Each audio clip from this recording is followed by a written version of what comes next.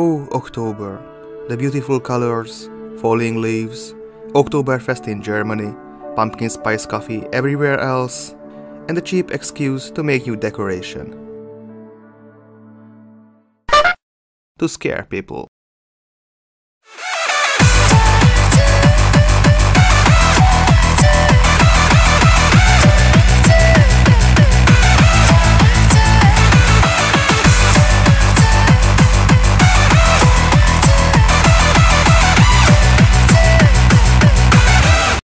For best results, get an MP3 player module with preloaded sound effects and some LEDs.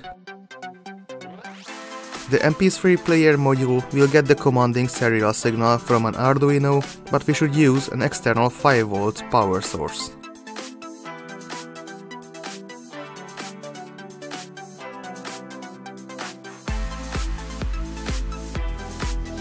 The module can drive a speaker up to 3 watts. This one is much smaller because I don't have too much space, but you should use a bigger speaker in a bigger pumpkin. A pyroelectric motion sensor is ideal because of its size and the provided signal.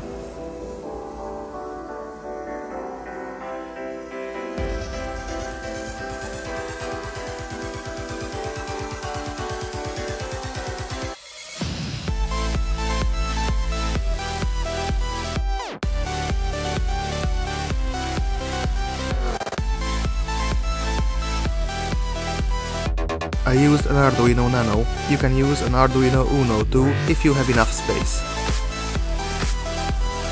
Don't forget the external power supply. Hide everything for best results.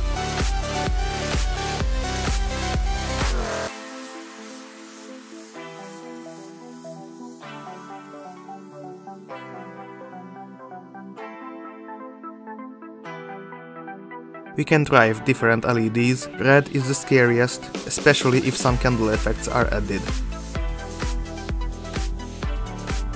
Yellow is more natural but still scary.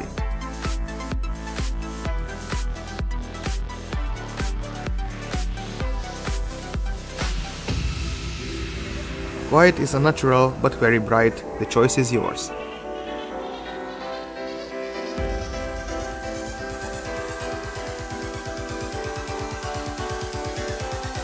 Download the source code and all needed files on GitHub and make your own motion-activated jack-o'-lantern. Let's see it in action.